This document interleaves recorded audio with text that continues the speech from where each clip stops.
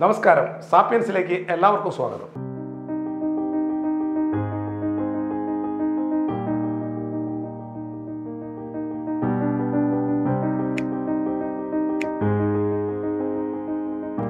പത്തിരുപത് കൊല്ലം മുമ്പത്തെ തമിഴ് പടങ്ങളിൽ ലക്ഷവും കോടിയും പറഞ്ഞ് പട്ടിണി പാവങ്ങളായ തമിഴന്മാരെ പറ്റിക്കുന്ന ഏർപ്പാടുണ്ടായിരുന്നു. ഉദാഹരണത്തിന് മകൻ അച്ഛനോട് വന്ന് കുറച്ച് കാശ് ചോദിക്കും. അത് ഇങ്ങനെയാണ് ആ രംഗം. അപ്പ കൊഞ്ചം കാശ് വേണം. എതുക്കടാ? പാക്കറ്റ് മണിക്കപ്പ. എവളോ വേണം? അഞ്ച് ലക്ഷം. പോക്കറ്റ് മണിക്ക് അഞ്ച് ലക്ഷം രൂപ ഒരു മകൻ അച്ഛനോട് ചോദിച്ചാൽ നമ്മൾ വിചാരിക്കുക അവനെ ചൂലെടുത്ത് അടിക്കും എന്നാണ്. എന്നാൽ അച്ഛൻ പറയാണ് നേത്ത് കാലയല്ലടാ പത്ത് ലക്ഷം തന്നത്? അതെങ്കിൽ ചിലവായി പോയ അച്ഛൻ. Okay son. അച്ഛന്റെ പോക്കറ്റിലുണ്ട്. എടുത്തോ. തമിഴ് സിനിമയിലെ പോലെ ഞാനും വലിയ സംഖ്യ പറയാൻ പോവുകയാണ്. ഞാൻ പറയുന്ന സംഖ്യ രണ്ടര കോടി. ഒരു വമ്പൻ സംഖ്യയാണ്. ഈ രണ്ടര കോടി എന്ന് പറയുന്നത് സാപ്പിയൻസ് എന്ന ഹരാരിയുടെ ഈ പുസ്തകം ഇതുവരെ വിറ്റുപോയതിന്റെ കണക്കാണ്. പുസ്തകം വഴിയല്ലാതെ പി ഡി എഫ് ആയി ഫ്രീ ആയി വായിച്ചവർ കോടിക്കണക്കിന് വേറെയും വരും.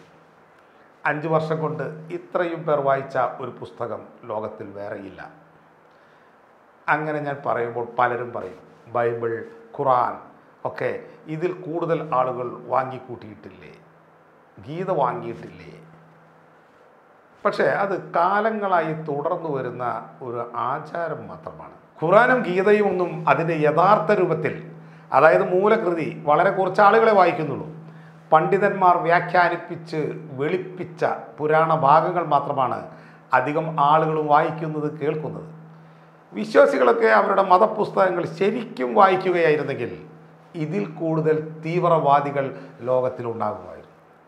പ്രവാചകനെ അപമാനിക്കുന്നവരെ തലവെട്ടണമെന്നും കൈക്കാലുകൾ വിവിധ വശങ്ങളിൽ നിന്ന് വെട്ടിയെടുക്കണമെന്നുമൊക്കെ ഒറിജിനൽ മതഗ്രന്ഥം വായിച്ചാലാണ് അറിയുക. സാധാരണ വിശ്വാസികൾക്ക് മതപണ്ഡിതന്മാർ വെളുപ്പിച്ച് എടുത്തത് മാത്രമേ അറിയൂ. അവരുടെ സ്വപ്നങ്ങളിലെ പ്രവാചകനും ദൈവപുത്രനും സമാധാന ദൂതരാണ് അതുകൊണ്ടാണ് സ്വന്തം മതത്തിൽപ്പെട്ടവർ ആരുടെയെങ്കിലും തലവെട്ടിയെന്ന് കേൾക്കുമ്പോൾ സാധാ വിശ്വാസി ഇങ്ങനെ പറയുന്നത് ഞാൻ വിശ്വസിക്കുന്ന ഹിന്ദു മതം ഇങ്ങനല്ല. ഞാൻ വിശ്വസിക്കുന്ന ഇസ്ലാം ഇങ്ങനല്ല. സത്യത്തിൽ ശരിക്കുള്ള ഇസ്ലാമാണത്. ശരിക്കുള്ള ഹിന്ദുവാണത്. മതപുസ്തകം ശരിക്കും വായിച്ച് ശരിക്കും അതുപോലെ പ്രവർത്തിക്കുമ്പോഴാണ് ഒരാൾ തീവ്രവാദിയാവുന്നത്. ഉദാഹരണമായി സഹോദരന്മാരായാലും ഗുരുക്കന്മാരായാലും ശത്രുപക്ഷത്ത് വന്നാൽ കൊല്ലാൻ ഭഗവത്ഗീത പറഞ്ഞിട്ടുണ്ട്. അത് കൃത്യമായി വായിച്ച ചിലർ അത് നടപ്പാക്കുന്നു. അതുപോലെ പ്രവാചകനെ ആക്ഷേപിക്കുന്നവരെ പൂശിക്കോളാൻ ആ പുസ്തകത്തിൽ പറഞ്ഞിട്ടുണ്ട്. അവരത് കൃത്യമായി നടപ്പാക്കുന്നു. സാധാരണ വിശ്വാസി ഇത്തരം ഗ്രന്ഥങ്ങൾ തനി രൂപത്തിൽ വായിക്കുന്നില്ല. അവൻ വ്യാഖ്യാനങ്ങൾ വായിക്കുന്നു കേൾക്കുന്നു. ആ വ്യാഖ്യാനങ്ങളിൽ അവരുടെ ദൈവങ്ങളുടെ ഇരുണ്ട വശമില്ല. അവരുടെ വീട്ടിൽ ഈ പറഞ്ഞ ഒറിജിനൽ ഗ്രന്ഥങ്ങളുണ്ട് പക്ഷേ അവരത് ശരിക്കും വായിക്കുന്നില്ല. പകരം അവരത് ആരാധനയോടെ സൂക്ഷിക്കുന്നു. നോക്കിയാൽ കാണുന്നിടത്ത് വയ്ക്കുന്നു. എന്നിട്ട് അതിനുള്ളിൽ കറണ്ട് ബില്ല് വയ്ക്കുന്നു ഗ്യാസ് ബില്ല് വയ്ക്കുന്നു ആധാർ കാർഡ് വയ്ക്കുന്നു. എന്തുകൊണ്ടാണ്? ഒരു ഉദാഹരണം പറയാം. വീട്ടിൽ കറണ്ട് പോയാൽ നാം കെ എസ് സി ബിയിൽ വിളിക്കും. അപ്പോൾ അവർ അവർ നമ്മളുടെ കൺസ്യൂമർ നമ്പർ ചോദിക്കും. പലപ്പോഴും നമുക്കത് ഓർമ്മയുണ്ടാകില്ല. അവൾ കെ എസ് ഇ ബിക്കാർ പറയും കൺസ്യൂമർ നമ്പർ നിങ്ങളുടെ ബില്ലിലുണ്ടാകും. അല്ലെങ്കിൽ മീറ്റർ ബോർഡിൽ എഴുതിയിട്ടുണ്ടാകും. മീറ്റർ ബോർഡ് വീടിന് പുറത്തായതിനാൽ നമുക്ക് ഇറങ്ങിപ്പോയി നോക്കണം. കറണ്ട് ബില്ല് ബൈബിളിനുള്ളിലോ ഖുറാനുള്ളിലോ രാമായണത്തിനുള്ളിലോ സൂക്ഷിച്ചാൽ എടുത്തു നോക്കി പറയാൻ എളുപ്പമുണ്ട്. ഞാൻ പറഞ്ഞു വന്നത് ഇതാണ്. ഹരാരിയുടെ പുസ്തകങ്ങളെക്കാൾ നന്നായി വിറ്റുപോയ മതഗ്രന്ഥങ്ങൾ ഉണ്ടായിരിക്കാം. എന്നാൽ അതൊന്നും വായനയ്ക്ക് വേണ്ടി വിൽക്കപ്പെട്ടതല്ല. വീടിന്റെ ഐശ്വര്യത്തിനായി വാങ്ങപ്പെട്ടതാണ്. ഗുരുവായൂരപ്പൻ ഈ വീടിന്റെ ഐശ്വര്യം ഗുരുദേവൻ ഈ വീടിന്റെ ഐശ്വര്യം യേശുക്രിസ്തു ഈ വീടിന്റെ ഐശ്വര്യം. ഇങ്ങനെ നാം ഒരുപാട് കണ്ടിട്ടുണ്ടല്ലോ. എന്നാൽ ഹരാരിയുടെ പുസ്തകം ആ ഒരു ധർമ്മം നിറവേറ്റുന്നില്ല. ഐശ്വര്യലക്ഷ്മിക്ക് ഇതിൽ ഒരു റോളുമില്ല. അപ്പോൾ ആളുകൾ അത് വായിക്കാൻ വേണ്ടി തന്നെയാണ് വാങ്ങിച്ചത്. ഏറ്റവും കൂടുതൽ കാലം ബെസ്റ്റ് സെല്ലറായി നിലനിന്ന പുസ്തകമാണിത്. ഏറ്റവും കൂടുതൽ കാലം ബെസ്റ്റ് സെല്ലറായി നിലനിൽക്കുന്ന പുസ്തകങ്ങളെ ഷെൽഫ് ലൈഫുള്ള പുസ്തകം എന്നാണ് പറയുന്നത്. അൺയൂഷ്വലി പ്രൊട്രാക്റ്റഡ് ഷെൽഫ് ലൈഫ് എന്നാണ് ഗാർഡിയൻ പത്രത്തിന്റെ പ്രയോഗം. സത്യത്തിൽ ഈ പുസ്തകം രണ്ടായിരത്തി പതിനൊന്നിൽ ഹീബ്രു ഭാഷയിൽ പുറത്തു വന്നെങ്കിലും രണ്ടായിരത്തി പതിനഞ്ചിൽ യു കെയിൽ ഇംഗ്ലീഷിൽ ഇറങ്ങിയതിന് ശേഷമാണ് അതിന്റെ ജൈത്ര യാത്ര ആരംഭിക്കുന്നത്. യു കെയിൽ രണ്ട് ലക്ഷം കോപ്പി രണ്ട് വർഷം കൊണ്ട് വിറ്റു. ഇന്നത് അറുപത് ഭാഷകളിൽ പുറത്തു വന്നിരിക്കുന്നു. ഒരു പുസ്തകത്തിന്റെ രണ്ടര കോടി കോപ്പികൾ. ഈ പുസ്തകം മൂലം മറ്റ് ബ്രെയിനി ബുക്സുകളുടെ വായന വളരെ കൂടിയെന്നാണ് പുസ്തകശാലക്കാർ പറയുന്നത്. ബ്രെയിനി ബുക്സ് എന്ന പ്രയോഗം ശ്രദ്ധിക്കുക. തലച്ചോറിനെ പ്രചോദിപ്പിക്കുന്ന പുസ്തകങ്ങൾ. അത്തരം പുസ്തകങ്ങൾ അധികം വായിക്കപ്പെടാറില്ല. എന്നാൽ സാപ്പിയൻസ് വായിച്ചവർ തുടർ വായനയ്ക്കായി മറ്റു പുസ്തകങ്ങൾ വായിക്കുന്നു. മറ്റു ബ്രെയിനി ബുക്സുകളുടെ വിൽപ്പന കൂടുന്നു. രാഷ്ട്രീയ നേതാക്കളായ ബരാക് ഒബാമയെ പോലുള്ളവർ വമ്പൻ ബിസിനസ്സുകാരായ ബിൽ ഗേറ്റ്സിനെ പോലുള്ളവർ ക്രിസ് ഇവൻസിനെ പോലുള്ള സൂപ്പർ ഹീറോസ് ജാനലയെ പോലുള്ള ടോപ്പ് സിംഗേഴ്സ് ബഹുമുഖങ്ങളായ വ്യക്തിത്വങ്ങൾ മനുഷ്യരോട് പറയുന്നു നിങ്ങൾ സാപ്പിയൻസ് വായിക്കൂ. അതെ നമ്മൾ സാപ്പിയൻസ് വായിക്കുന്നു. ഇത് മുപ്പതാമത്തെ എപ്പിസോഡാണ്. നമ്മളത് വായിക്കുമ്പോൾ നമ്മുടെ ചരിത്രം കൂടി നാം അതിലൂടെ വായിക്കുന്നു. നമ്മൾ പുറത്തല്ല നമ്മൾ അതിനകത്താണ്. സെവൻ പോയിന്റ് ടു ഡോൾബി അറ്റ്മോസിനകത്ത് പെട്ടുപോകുന്നത് പോലെ നമ്മൾ അതിനകത്തിരുന്നാണ് അത് വായിക്കുന്നത്.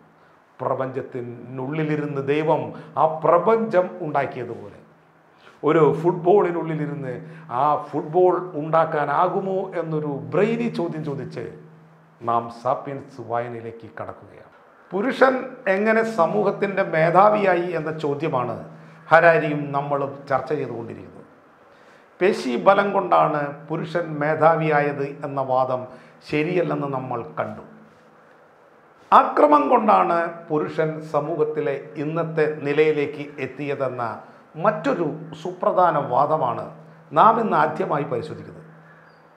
ആണും പെണ്ണും ഭൂമിയിൽ ദശലക്ഷക്കണക്കിന് വർഷം പിന്നിട്ടപ്പോൾ പുരുഷന്മാർ സ്ത്രീകളെക്കാൾ കൂടുതൽ ആക്രമണകാരികളായി പരിണമിച്ചു എന്ന് ആ വാദം പറയുന്നു. ആണിന്റെയും പെണ്ണിന്റെയും ഹോർമോൺ സംവിധാനത്തെക്കുറിച്ചുള്ള ആധുനിക പഠനങ്ങൾ നമ്മോട് പറയുന്നു. അതായത് ആണിന്റെയും പെണ്ണിന്റെയും തിരിച്ചറിവ് ശേഷിയെക്കുറിച്ചുള്ള പഠനങ്ങൾ നമ്മോട് പറയുന്നു. ആണുങ്ങൾ കൂടുതൽ ആക്രമ സ്വഭാവമുള്ളവരാണ്. വിദ്വേഷം ആർത്തി ക്രൂരത എന്നിവയിൽ സ്ത്രീയും പുരുഷനും കട്ടയ്ക്ക് നിൽക്കും. ഒരു വ്യത്യാസവുമില്ല. എന്നാൽ അക്രമ സ്വഭാവത്തിൽ ജീവശാസ്ത്രപരമായി തന്നെ പുരുഷന്മാർ മുന്നിലാണെന്ന് പുതിയ പഠനങ്ങൾ പറയുന്നു അവർ അസാധാരണമായ ശരീരാക്രമണങ്ങളിൽ ഏർപ്പെടാൻ താല്പര്യം കൂടുതൽ കാണിക്കുന്നു. തമിഴ് പെൺപുലികളും പെൺ മാവോയിസ്റ്റുകളും ഇല്ലേ എന്ന് ചോദിച്ചാൽ ഉണ്ട്. പക്ഷേ നാം ആൺ സൈനികരെ കണക്കിലെടുക്കുമ്പോൾ വളരെ വളരെ കുറവാണ്. നമുക്ക് ടെക്നനെ നോക്കിയാൽ മനസ്സിലാവുന്നൊരു കാര്യം മിലിറ്ററി സർവീസാണ്. സൈനിക സേവനത്തിൽ എവിടെയും ആണുങ്ങളാണ്. ചരിത്രത്തിലുടനീളം യുദ്ധം ഒരു പുരുഷ മേഖലയായിരുന്നു. ശരീരാക്രമണങ്ങളിൽ ഏർപ്പെടാനുള്ള ആണിന്റെ താല്പര്യം ഇതിൽ നിന്ന് തന്നെ വ്യക്തമാണ്. യുദ്ധകാലങ്ങളിൽ സൈന്യങ്ങളുടെ മേലുള്ള ആണിന്റെ നിയന്ത്രണം സൈനികമല്ലാത്ത മൊത്തം സമൂഹത്തിന്റെ നിയന്ത്രണത്തിലേക്ക് പൗരുഷത്തെ പ്രാപ്തമാക്കി. അപ്പോൾ ആ സമൂഹത്തിന്റെ നിയന്ത്രണം ഉപയോഗപ്പെടുത്തി കൂടുതൽ യുദ്ധങ്ങൾ ചെയ്യാൻ പറ്റി. പച്ച മലയാളത്തിൽ പറഞ്ഞാൽ യുദ്ധം ചെയ്ത് പേടിപ്പിച്ച് സമൂഹത്തെ നിയന്ത്രണത്തിലാക്കുക സമൂഹത്തെ കൂടെ നിർത്തി കൂടുതൽ യുദ്ധം ചെയ്യുക. ഒന്നുകൂടി വിശദീകരിക്കാം. സൈന്യങ്ങളുടെ മേലുള്ള നിയന്ത്രണം സാധാരണ ജനങ്ങളുടെ മേലുള്ള അധികാരമായി. ജനങ്ങളുടെ മേലുള്ള അധികാരം ഉപയോഗപ്പെടുത്തി സൈന്യത്തെ കൊണ്ട് കൂടുതൽ കൂടുതൽ യുദ്ധങ്ങൾ ചെയ്യിക്കുക. ഫീഡ്ബാക്ക് ലൂപ്പ് എന്നാണ് ഹരാരി ഇക്കാര്യത്തെ വിശേഷിപ്പിക്കുന്നത്. അപ്പോൾ ഇനി നോക്കാനുള്ളത്. അക്രമ സ്വഭാവം കൂടുതൽ ഉള്ളത് കൊണ്ട് പുരുഷന് എന്തെങ്കിലും നേടാനോ ഏതെങ്കിലും വ്യവസ്ഥ സ്ഥാപിക്കാനോ പറ്റുന്നുണ്ടോ എന്നാണ്. ആക്രമ സ്വഭാവം കൂടുതലുള്ളത് കൊണ്ട് സാധാരണ സൈനികരെല്ലാം പുരുഷന്മാരാണ് എന്ന് നമുക്ക് മനസ്സിലായി. എന്നതുകൊണ്ട് യുദ്ധത്തിന്റെ നടത്തിപ്പ് കൈകാര്യം ചെയ്യുന്നതും യുദ്ധത്തിന്റെ ഗുണഫലങ്ങൾ അനുഭവിക്കുന്നതും പുരുഷന്മാർ തന്നെ ആകണമെന്നുണ്ടോ? അമേരിക്കയിലെ പരുത്തി കൃഷിത്തോട്ടങ്ങളിൽ പണി എടുത്തിരുന്നവർ മുഴുവൻ കറുത്തവരായ അടിമകളായിരുന്നു.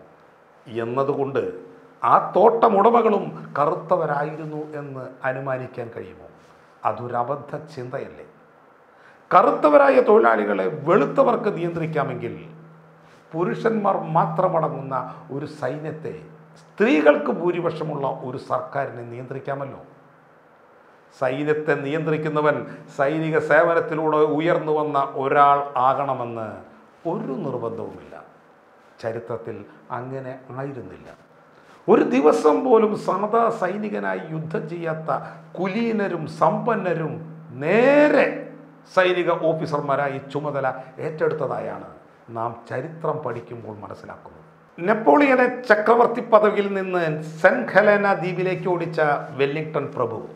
ഇത് ഡ്യൂക്ക് ഓഫ് വെല്ലിംഗ്ടൺ പതിനെട്ടാം വയസ്സിലാണ് ബ്രിട്ടീഷ് സൈന്യത്തിൽ ചേരുന്നത്. സാധാ സൈനികനായല്ല മറിച്ച് ഓഫീസറായാണ് അദ്ദേഹം നിയമിതനായത്. മാത്രമല്ല പുള്ളിക്ക് പുള്ളിയുടെ താഴെയുള്ള സാധാ സൈനികരെ പറ്റി തീരെ മതിപ്പുണ്ടായിരുന്നില്ല. അദ്ദേഹം അദ്ദേഹത്തിന്റെ സുഹൃത്തായ ഒരു കുലീനന് എഴുതിയ ഒരു കത്തിലെ വാചകങ്ങൾ വായിച്ചാൽ ഈ പ്രഭാഷണം കേൾക്കുന്ന സൈനികർ എന്നോട് പിണങ്ങരുത്.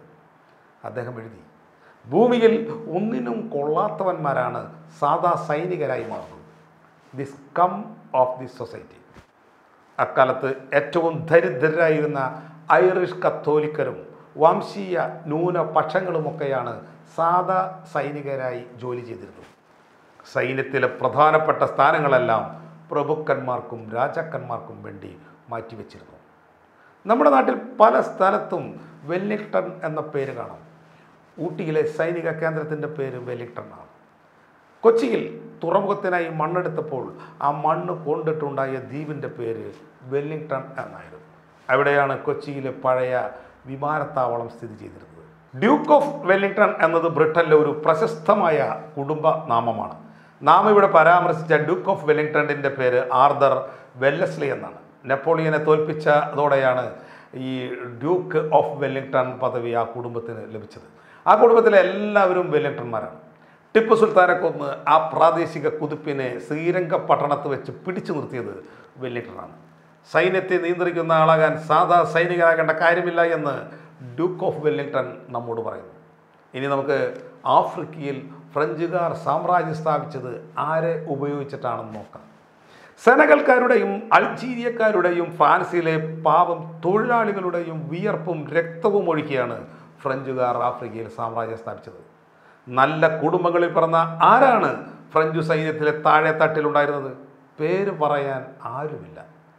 സൈന്യത്തെ നയിച്ചവരിൽ അധികവും ഉന്നത കുലജാതർ. സാമ്രാജ്യത്തെ ഭരിച്ചവരിൽ അധികവും വരണ്യർ. അതിന്റെ ഫലങ്ങൾ ഭുജിച്ചതും അവർ തന്നെ. എന്തുകൊണ്ട് ഒരു സാധാ ഫ്രഞ്ചുകാരൻ സൈന്യത്തെ നയിച്ചില്ല? എന്തുകൊണ്ട് ഒരു ഫ്രഞ്ചുകാരിക്ക് അത് കഴിഞ്ഞില്ല? ഇന്ത്യയിലേക്ക് വരുമ്പോൾ സിപ്പായിമാർ എന്ന ഇന്ത്യൻ ഭടന്മാർ ബ്രിട്ടീഷ് സാമ്രാജ്യം കാക്കുന്നത് നാം കാണുന്നു. അവർ ആരും തന്നെ ഇന്ത്യ ഭരിച്ചതായി കാണുന്നില്ല. സത്യത്തിൽ ഒരു സാധാരണക്കാരൻ ഇന്ത്യയുടെ പ്രധാനമന്ത്രി ആയത് തന്നെ സ്വാതന്ത്ര്യം കിട്ടി അറുപത്തി ഏഴ് വർഷം കഴിഞ്ഞിട്ടാണ്. അയാളാണെങ്കിൽ വരണ്യരുടെ കോടാലിക്കൈ ആയതുകൊണ്ട് മാത്രമാണ് അത് സാധിച്ചെടുത്തത്. ചൈനയിലേക്ക് വരികയാണെങ്കിൽ സൈന്യത്തെ സൈനികർ ഭരിക്കുന്ന ഒരു പരിപാടിയേ ഇല്ല. സൈനികരല്ലാത്ത ഒരു ഉദ്യോഗസ്ഥ വൃന്ദം അവിടെ സൈനികരെ ഭരിച്ചു. ഒരിക്കൽ പോലും വാൾ പിടിക്കാത്ത ചൈനീസ് വരേണ്യർ അങ്ങനെ വിശിഷ്ടങ്ങളായ യുദ്ധങ്ങൾ നടത്തി. ആണിയുണ്ടാക്കാനായി നല്ല ഇരുമ്പ് പാഴാക്കരുത് എന്നാണ് ചൈനയിലെ പഴഞ്ചൊല്ല്. അവിടുത്തെ മുഖ്യമന്ത്രിമാർ ഈ പഴഞ്ചൊല്ല് പാടി നടന്നു. നല്ല കഴിവുള്ളവർ ഉദ്യോഗസ്ഥരാകുന്നു. പേട്ടകൾ സൈനികരാകുന്നു. ആ പഴഞ്ചൊല്ലിന്റെ അർത്ഥം അത് മാത്രമായിരുന്നു. മാൻഡറിൻസ് എന്ന് വിളിക്കപ്പെട്ടിരുന്ന ഈ ചൈനീസ് വരണ്യർ എന്തുകൊണ്ടെന്നും ആണുങ്ങളായി എന്തുകൊണ്ട് പെണ്ണുങ്ങളായില്ല? ശരീരത്തിന്റെ ദൗർബല്യം കൊണ്ടാണോ പെണ്ണുങ്ങൾ മൻഹാരിനുകൾ ആകാഞ്ഞത്? ടെസ്റ്റാസ്റ്റീറോൺ എന്ന ഹോർമോൺ കുറഞ്ഞതുകൊണ്ടാണോ അവർ രാഷ്ട്രീയക്കാരാകാഞ്ഞത്? സൈന്യാധിപന്മാരാകാഞ്ഞത്? ഒരിക്കലുമല്ല. ഒരു യുദ്ധം നേതൃത്വം നൽകാനുള്ള മിനിമം യോഗ്യത സ്റ്റാമിന ഉണ്ടാകുക എന്നത് മാത്രമാണ്. ഇടയ്ക്കിടയ്ക്ക് ഉപ്പ് സോഡ ചോദിക്കരുത്. അല്ലാതെ അധികം കായിക ശക്തിയോ ആക്രമോത്സുകതയോ ആവശ്യമില്ല. അനുയായികളെ കൊണ്ട് വരമ്പത്ത് വളഞ്ഞിട്ട് പിടിപ്പിച്ചിട്ട് വാട്സപ്പ് വഴി കൊല നടത്താൻ എന്തിനാണ് കായിക ശക്തി? ബ്രാൻഡ് മാറി തന്നെന്ന് പറഞ്ഞ് വെയിറ്ററുടെ ചെകിട്ടത്തടിക്കുന്ന തിണ്ണമെടുക്കല്ല യുദ്ധം. അത് സങ്കീർണമായ ഒരു പ്രൊജക്റ്റാണ്. സഹകരണം വേണം. അസാധാരണമായ സംഘാടനം വേണം. വിട്ടുവീഴ്ച മനോഭാവവും ആവശ്യത്തിന് വേണം. മറ്റു രാജ്യങ്ങളുമായി യുദ്ധം ചെയ്യണമെങ്കിൽ രാജ്യത്തിനുള്ളിൽ സമാധാനം നിലനിർത്തണം. രാജ്യത്തിന് പുറത്തുനിന്ന് സഖ്യകക്ഷികളെ കണ്ടെത്തണം. ഇതിനേക്കാൾ ഉപരി ശത്രുക്കളുടെ മനസ്സ് വായിക്കാൻ ശ്രമിക്കണം. അതുകൊണ്ട് അക്രമ സ്വഭാവമുള്ള ഒരു തെമ്മാടി യുദ്ധം നയിക്കാൻ ഒട്ടും അനുയോജ്യനല്ല. അയാൾ എപ്പോൾ വേണമെങ്കിലും പരാജയപ്പെടാം. ഹിറ്റ്ലറെ പോലെ മുസോളിനിയെ പോലെ സഹാബ് ചെഷസ്ക്യുവിനെ പോലെ സദ്ദാം ഹുസൈനെ പോലെ. അപ്പോൾ യുദ്ധം നയിക്കാൻ അനുയോജ്യർ ആരാണ്? വിട്ടുവീഴ്ച ചെയ്യേണ്ടത് എങ്ങനെയെന്നറിയുന്നവർ. കാര്യങ്ങൾ നിയന്ത്രിക്കേണ്ടത് എങ്ങനെയെന്നറിയുന്നവർ. വ്യത്യസ്ത കാഴ്ചപ്പാടുകളിൽ നിന്നും കാര്യങ്ങൾ നോക്കിക്കാണുന്നത് എങ്ങനെയെന്നറിയുന്നവർ. സർവോപരി എല്ലാവരെയും സഹകരിപ്പിച്ച് കൂടെ കൊണ്ടുപോകുന്നവർ. അത്തരം വ്യക്തികളാണ് നയിക്കാൻ ഏറ്റവും അനുയോജ്യർ. സാമ്രാജ്യ സ്ഥാപകർ അവരാണ്. അഗസ്റ്റസ് സീസറിന് സൈനികപരമായ കഴിവ് കുറവായിരുന്നു. എന്നിട്ടും അദ്ദേഹം സ്ഥിരതയുള്ള ഒരു സാമ്രാജ്യം സ്ഥാപിച്ചു. അവിടെ സമാധാനത്തോടെ ജീവിച്ചു. എഴുപത്തഞ്ച് വയസ്സിൽ മരിച്ചു. അദ്ദേഹത്തിനേക്കാൾ മുമ്പ് റോം ഭരിച്ചിരുന്ന സൈനാധിപനായിരുന്ന ജൂലിയസ് സീസറിന് ഇത് കഴിഞ്ഞില്ല. മഹാനായ അലക്സാണ്ടറും ഒരു പരാജയമായിരുന്നു. അവർക്കൊന്നും സാധിക്കാത്ത കാര്യം സൈനികനല്ലാത്ത അഗസ്റ്റസിന് എങ്ങനെ കഴിഞ്ഞു? സൗമ്യത കൊണ്ടും കാരുണ്യം കൊണ്ടും അദ്ദേഹം അത് സാധിച്ചു എന്ന് ആധുനിക ചരിത്രകാരന്മാർ പറയുന്നു. ഇന്ത്യക്കാരായ നമ്മൾ കരുത്തരായ ഭരണാധികാരികൾക്കായി നിലവിളിക്കുന്നവരാണ്. അവർ ഒന്നുകിൽ ഭരണാധികാരിയുടെ നെഞ്ചളവെടുക്കുന്നു അല്ലെങ്കിൽ ചങ്ക് ഇരട്ടയാണോ എന്ന് നോക്കുന്നു. എന്നിട്ട് ഒട്ടുകുത്തുന്നു ചിക്കപ്പായ വലുപ്പത്തിലുള്ള നെഞ്ചുള്ളവരും നായക്കുട്ടിയുടെ വലുപ്പമുള്ള ചങ്കുള്ളവരും ഭരണത്തിൽ വരുമ്പോൾ സമാധാനകാംക്ഷികളായ മനുഷ്യർ പേടിക്കുകയാണ് ചെയ്യുക. ഗോത്രീയ വെറി പൂണ്ട മനുഷ്യർ എന്നാലും അവർക്ക് പിന്തുണ കൊടുത്തുകൊണ്ടേയിരിക്കും. ഇജാതി മനുഷ്യർ അമേരിക്കയിലും തുർക്കിയിലും ഇന്ത്യയിലും കേരളത്തിലും അധികാരത്തിൽ വരുന്നതിന് മുമ്പുണ്ടായിരുന്ന ലോകം അത് കുറെ കൂടി ബെറ്റർ ആയിരുന്നു. അങ്ങനെ നോക്കുമ്പോൾ യുദ്ധം നയിക്കേണ്ട ഗുണങ്ങളുള്ളവർ ആണുങ്ങളെക്കാൾ പെണ്ണുങ്ങളാണെന്ന് കാണും. കാര്യങ്ങൾ കൈകാര്യം ചെയ്യുന്നതിനും വിട്ടുവീഴ്ച ചെയ്യുന്നതിനും പെണ്ണുങ്ങൾ ആണുങ്ങളെക്കാൾ ഭേദമാണ്. മറ്റുള്ളവരുടെ കാഴ്ചപ്പാടിൽ നിന്നുകൊണ്ട് കാര്യങ്ങൾ നോക്കിക്കാണാനുള്ള കഴിവ് സ്ത്രീകൾക്കാണ് കൂടുതലെന്ന് പൊതുവെ പറയപ്പെടുന്നു. എന്നിട്ടും എന്തുകൊണ്ട് സ്ത്രീകൾ സാമ്രാജ്യ സ്ഥാപകരായില്ല? ആക്രമ സ്വഭാവം ഉള്ളതുകൊണ്ട് ആണുങ്ങൾ യുദ്ധം ചെയ്യുന്നു എന്ന് നാം പറഞ്ഞു. എന്നാൽ യുദ്ധം ചെയ്യുന്ന എല്ലാ ആണുങ്ങൾക്കും യുദ്ധത്തിന്റെ ഗുണഫലം രുചിക്കാൻ കഴിയുന്നില്ല. ഭൂരിപക്ഷം രാജ്യങ്ങളും വരേണ്യരാണ് ഭരിച്ചതെന്ന് നാം കണ്ടു. സാമ്രാജ്യം സ്ഥാപിക്കുന്നവന് സിക്സ് പാക്ക് ബോഡി ആവശ്യമില്ല എന്നും നമുക്ക് മനസ്സിലായി. അപ്പോൾ ശരിക്കും ഒരുപാട് സ്ത്രീകൾ അധികാര കസേരയിൽ കയറി ഇരിക്കേണ്ടതല്ലേ? അക്രമ സ്വഭാവമുള്ള പുരുഷന്മാർ പടനിലങ്ങളിൽ അവർക്കായല്ലേ പടവെട്ടേണ്ടിയിരുന്നത്? എന്നാൽ യഥാർത്ഥ ലോകത്തിൽ സ്ത്രീകളുടെ ഭരണം വളരെ ദുർലഭമായി മാത്രം സംഭവിച്ചു. എന്തുകൊണ്ട്? അത് വ്യക്തമല്ല. നമുക്കിനി മറ്റൊരു വാദത്തിലേക്ക് പോകാം. അത് ജീനുകളുമായി ബന്ധപ്പെട്ടാണ്. ദശലക്ഷക്കണക്കിന് വർഷങ്ങളുടെ പരിണാമം കൊണ്ട് ആണുങ്ങളും പെണ്ണുങ്ങളും അതിജീവനത്തിന്റെയും പ്രത്യുപാദനത്തിന്റെയും ചില തന്ത്രങ്ങൾ കൈകൊണ്ടെന്ന് ആ വാദം പറയുന്നു. കൊള്ളാവുന്ന പെണ്ണുങ്ങൾക്കായി ആണുങ്ങൾ മത്സരിച്ചു. പക്ഷേ ഗോളടിക്കേണ്ടവന് മറ്റു മത്സരാർത്ഥികളായ ആണുങ്ങളെ തോൽപ്പിക്കേണ്ടതായി വന്നു. അങ്ങനെ വീര്യമുള്ളവന്റെ കുഞ്ഞിനെ കൊള്ളാവുന്ന സ്ത്രീ പ്രസവിച്ചു. ആ പ്രസവത്തിൽ പിറന്ന ആൺകുട്ടി ആ വീരന്റെ ജീനുമായി പിറന്നു. അവന്റെ അടുത്ത തലമുറയിലും വീരന്മാർ ഗോളടിച്ചു. അങ്ങനെ തലമുറകൾ കഴിഞ്ഞപ്പോൾ ഉയർന്ന ലക്ഷ്യബോധമുള്ള ആക്രമോത്സുകതയുള്ള മത്സരക്ഷമതയുള്ള ജീനുകൾ പുരുഷന്മാർക്ക് ഉണ്ടായി എന്ന് ആ വാദം പറയുന്നു. എന്നാൽ പെണ്ണിന് ഗർഭം ധരിക്കുന്നതിന് ഒരു ആണിനെ കണ്ടെത്താൻ മത്സരിക്കേണ്ട ഒരു കാര്യവും ഉണ്ടായിരുന്നില്ല. അത് അന്നത്തെ പോലെ തന്നെയാണ് ഇന്നും. കള്ളക്കാമുകന്മാരിൽ നിന്നും ഒരു തെരഞ്ഞെടുപ്പ് നടത്തിയാൽ മാത്രം മതിയായിരുന്നു. പക്ഷേ ഒമ്പത് മാസം ആ ഗർഭം ചുമക്കണമായിരുന്നു. ഇന്നത്തെ പോലെ ഗർഭ നിരോധന മാർഗങ്ങൾ അന്നുണ്ടായിരുന്നില്ലല്ലോ. ഗർഭം ചുമന്നാൽ മാത്രം പോരാ വർഷങ്ങളോളം വളർത്തണം. ഗർഭകാലത്ത് പ്രത്യേകിച്ചും നിറവയർ ടൈമിൽ അവൾക്ക് ഭക്ഷണം ലഭിക്കുന്നതിനുള്ള അവസരങ്ങൾ കുറവായിരുന്നു. അതിനവൾക്ക് ഹെൽപ്പ് ആവശ്യമുണ്ട്. അവൾക്കൊരു ആണിനെ ആവശ്യമുണ്ട്.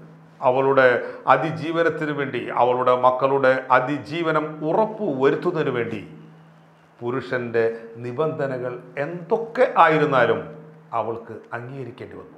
അങ്ങനെ അംഗീകരിച്ചാൽ അവൻ കുറച്ചു കാലം അവളുടെ കൂടെ ചുറ്റിപ്പറ്റി നിൽക്കും. അത്യാവശ്യം ഭാരങ്ങൾ ഷെയർ ചെയ്യുകയും ചെയ്യും. ഇങ്ങനെ തലമുറകൾ കഴിഞ്ഞപ്പോൾ വിധേയത്വമുള്ള സ്ത്രൈണജീനുകൾ വിധേയത്വമുള്ള പെൺകുട്ടികളിലേക്ക് കൈമാറപ്പെട്ടു. ഈ വാദത്തിന്റെ കാതൽ ഈ പറയുന്നതാണ് അതിജീവന തന്ത്രങ്ങളുടെ ഭാഗമായി ആണുങ്ങൾക്ക് കൂടുതൽ മത്സരക്ഷമതയുണ്ടായി ലക്ഷ്യബോധമുണ്ടായി. അവർ കച്ചവടത്തിലും രാഷ്ട്രീയത്തിലും മികവ് കാട്ടി. അതേസമയം സ്ത്രീകൾ ഒഴിഞ്ഞു മാറി നടക്കുന്നതിനും കുട്ടികളെ വളർത്തുന്നതിനും വേണ്ടി തങ്ങളുടെ ജീവിതം സമർപ്പിച്ചു. എല്ലാം അതിജീവനത്തിനായുള്ള അഡ്ജസ്റ്റ്മെന്റുകൾ പക്ഷേ ഈ വാദം മറ്റു ചില ജീവികളെ നിരീക്ഷിക്കുമ്പോൾ ദുർബലമാവുകയാണ്. സ്ത്രീകൾക്ക് സഹായം ആവശ്യമായി വന്നാൽ മറ്റു സ്ത്രീകളെ ആശ്രയിച്ചാൽ എന്താണ് കുഴപ്പം? സഹകരിക്കാനും വിട്ടുവീഴ്ച ചെയ്യാനും സ്ത്രീകൾക്കുള്ള പ്രത്യേക കഴിവുകൾ വികസിപ്പിച്ചാൽ ഒരു സ്ത്രീ ശക്തി തന്നെ സാധ്യമാകുമല്ലോ. ആനകളെ നോക്കിയാൽ ഇക്കാര്യം പിടികിട്ടും. ബൊണോബ കുരങ്ങന്മാരുടെ സമൂഹങ്ങൾ നോക്കിയാലും നമുക്ക് നിരീക്ഷിക്കാനാവും.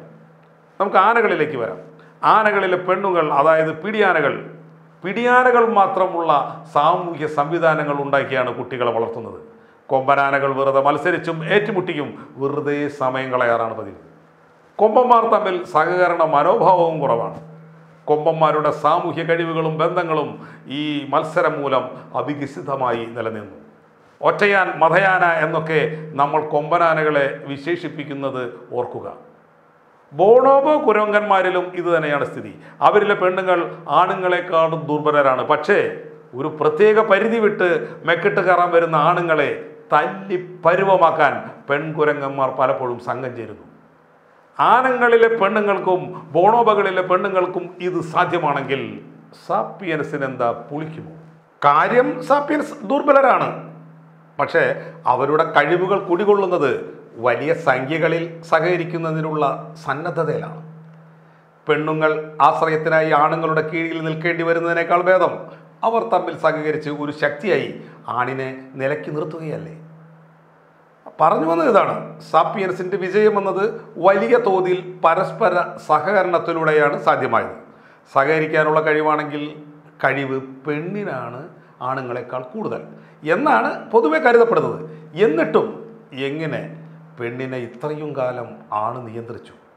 തൽക്കാലം നമുക്ക് നല്ല ഉത്തരമൊന്നുമില്ല. ഒരുപക്ഷെ നാം ഇപ്പോൾ പറഞ്ഞ പൊതുവായ അനുമാനങ്ങളൊക്കെ തെറ്റാണെന്ന് വരാം. അതായത് ആക്രമണോത്സുകതയും മത്സരക്ഷമതയും ആണുങ്ങൾക്കാണ് കൂടുതൽ എന്ന നമ്മുടെ കൺസെപ്റ്റ് ഒരുപക്ഷെ തെറ്റാണെങ്കിലും? സാമൂഹ്യമായ കഴിവുകൾ പരസ്പരം സഹകരിക്കാനുള്ള കഴിവുകൾ അത്തരം കഴിവുകളെല്ലാം കൂടുതൽ ഉള്ളത് സ്ത്രീകൾക്കാണ് എന്ന ഒരു കൺസെപ്റ്റ് നമ്മൾ മുന്നോട്ട് വെച്ചു. പക്ഷേ ആ കൺസെപ്റ്റ് തെറ്റാണെങ്കിലോ? ഈ കഴിവുകൾ ആണുങ്ങൾക്കാണ് കൂടുതൽ. അതുകൊണ്ട് അവർ സ്ത്രീകൾക്ക് മേൽ ആധിപത്യം നിലനിർത്തി എന്നായിക്കൂടെ? സത്യം പറഞ്ഞാൽ നമുക്ക് അറിഞ്ഞുകൂടാ. പുരുഷാധിപത്യത്തിന് കാരണമായി പറയുന്ന ഓരോ വാദത്തിനും പ്രതിവാദങ്ങളുണ്ടെന്ന് നാം ഇപ്പോൾ കാണുകയാണ്. അക്കാര്യത്തിൽ നമുക്ക് യാതൊരു സംശയവുമില്ല. എന്നാൽ ലോകത്തിൽ ഇതിനിടയ്ക്ക് വലിയ വലിയ മാറ്റങ്ങൾ വന്നു. പ്രത്യേകിച്ച് കഴിഞ്ഞ നൂറ്റാണ്ടിൽ സ്ത്രീ പുരുഷ ലിംഗ വ്യത്യാസങ്ങളുടെ നിർവചനങ്ങൾ പൊളിച്ചെഴുതപ്പെട്ട വിപ്ലവങ്ങൾ പലതും നടന്നു. ഇന്ന് കൂടുതൽ കൂടുതൽ സമൂഹങ്ങൾ സ്ത്രീക്കും പുരുഷനും നിയമപരമായി തുല്യനിലയും രാഷ്ട്രീയ അവകാശങ്ങളും സാമ്പത്തിക അവസരങ്ങളും നൽകുന്നു. ഇസ്ലാം പോലുള്ള ചില മതങ്ങൾ ഇതിനെതിരെ പല്ലിളിച്ച് കാണിക്കുന്നുണ്ടെങ്കിലും വികസിത രാജ്യങ്ങളിലെ പല സ്ത്രീകളും കറുത്ത ചാക്കിൽ കയറാൻ വിസമ്മതിക്കുന്നു. ലിംഗവ്യത്യാസത്തിന്റെ വിടവ് ഇപ്പോഴും വളരെയുണ്ട്. പക്ഷേ വിസ്തീർണം വളരെ കുറഞ്ഞു കുറഞ്ഞു വരികയാണ്. സ്ത്രീകൾക്ക് വോട്ടവകാശം നൽകുക എന്ന ആശയം അവതരിക്കപ്പെട്ട കാലത്ത് അമേരിക്കൻ ഐക്യനാടുകളിലെ ആണുങ്ങളുടെ മുഖത്ത് ലജ്ജയിൽ കുതിർന്ന ഒരു ചിരി പടർന്നിരുന്നു. ഒരു പെണ്ണ് കാബിനറ്റ് സെക്രട്ടറി ആകുന്നതോ ജഡ്ജി ആകുന്നതോ വളരെ വലിയ ഒരു അസംബന്ധമായിരുന്നു. സ്വവർഗ ലൈംഗികത വളരെയേറെ നിഷിദ്ധമായ ഒരു വിഷയമായിരുന്നു. അതുകൊണ്ട് മാന്യന്മാർ അതൊന്നും മിണ്ടുക പോലുമില്ല. രണ്ടായിരത്തി ഇരുപതിൽ സ്ത്രീകളുടെ വോട്ടവകാശം സ്ത്രീ പ്രസവിക്കുന്നു എന്ന് പറയും പോലെ സ്വാഭാവികമായ കാര്യമാണ്. അമേരിക്കയിലെ അഞ്ച് സുപ്രീം കോടതി ജഡ്ജിമാരിൽ മൂന്ന് പേർ സ്ത്രീകളായിരുന്നു. അവരാണ് സുവർഗ വിവാഹങ്ങൾ നിയമപരമാക്കിയത്. നാല് ആൺ ജഡ്ജിമാർ ആ നിയമത്തിനെതിരെ വിയോജിപ്പ് പ്രകടിപ്പിച്ചു. ഒരു സ്ത്രീ പോലും ആ നിയമത്തെ എതിർത്തില്ല. നാടകീയമായ മാറ്റങ്ങളാണ് ജെൻഡർ എന്ന മേഖലയിൽ സംഭവിക്കുന്നത്. ഇങ്ങനെയൊക്കെ തുല്യരാകാൻ കഴിയുമെന്ന് കാണുമ്പോൾ കുപ്രസിദ്ധവും കഠിനവുമായ പഴയകാല പുരുഷ മേധാവിത്വ ചരിത്രം നമുക്ക് മുന്നിൽ നിഗൂഢമായി അവശേഷിക്കുകയാണ്. ജീവശാസ്ത്രപരമായ കാരണങ്ങളല്ലാതെ വെറും മിത്തുകളിലാണോ സ്ത്രീ പുരുഷ വ്യത്യാസം എന്ന സങ്കല്പം ഇത്രയും കാലം നിലനിന്നത്? അത്ഭുതം തോന്നുന്നു. അതല്ലാതെ സിമ്പിളായി മറ്റെന്താണ് നാം പറയുക? സുഹൃത്തുക്കളെ സാപ്പിയൻസ് എന്ന പുസ്തകത്തിന്റെ രണ്ടു ഭാഗങ്ങൾ ഈ എപ്പിസോഡോടെ അവസാനിച്ചു. ഇനി രണ്ട് ഭാഗങ്ങൾ കൂടിയുണ്ട്. എല്ലാവരും അവസാനം വരെ ഒപ്പം ഉണ്ടാകണമെന്ന് അഭ്യർത്ഥിക്കുകയാണ്. വീഡിയോ ഇറങ്ങുന്നതിന്റെ നോട്ടിഫിക്കേഷൻ ലഭിക്കണമെങ്കിൽ തീർച്ചയായും പുതിയ കാഴ്ചക്കാർ ഈ ചാനൽ സബ്സ്ക്രൈബ് ചെയ്യണം. മറക്കരുത്. നന്ദി.